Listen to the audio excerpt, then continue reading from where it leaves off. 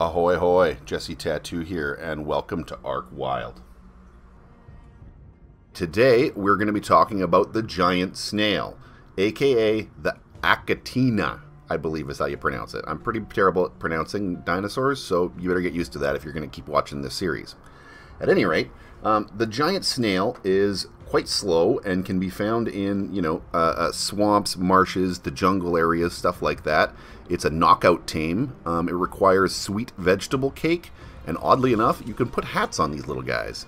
Um, another really cool fact is instead of pooping, they um, secrete cementing paste, basically. It's called achatina paste, but it works exactly the same as cementing paste. So, tribes, tame a whole bunch of these bad boys and keep them in your backyard because it'll be free cementing paste for life.